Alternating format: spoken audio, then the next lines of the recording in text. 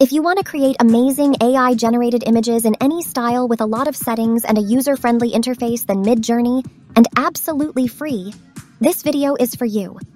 I've been looking for something better, and I finally found it. Today I'm going to talk about how to use it and how to get the most out of your prompts. So let's move on to the functionality. On the left side of the menu is the Home button. Below it there is a Community Feed button, and here all the art is created by this community. This is a very useful tab. Here you can not only view the artworks of others, you can even download their works to your own. We can make a remix or copy someone else's prompt. The text will be copied to your clipboard and you can paste it here in Leonardo or in Playground or Midjourney. Also, the Image to Image button will help you use that image as a sample for your next work.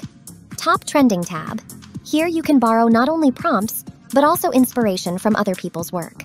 Personal Feed. Here are your generated pictures. Followers Feed. These are the new pictures of the people you are subscribed to. And Liked Feed. These are your likes of other people's images. Training and datasets. These are the results of your models, on which you've trained AI to achieve the best results. But I'll make a separate video about that.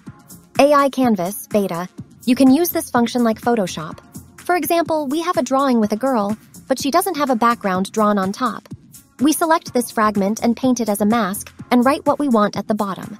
For example, we want to make more of the background. And Leonardo adds a background on top of the ears. And we are offered to choose one option out of four. I choose the one that I think is the best. Next, we create a new picture of the girl with the image to image function. The previous image I made in the style of RPG 4.0, and the new one I will make using the Dream Shaper model. I wrote my prompt, and plus a description of the negative query.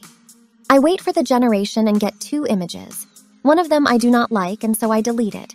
The more you make edits to your image and generate new ones, the more tokens you have to spend, which is updated daily. In the morning, you get 250 tokens. That's it for me. That was the first brief guide. Like it and subscribe. Also, write yours in the comments. Bye.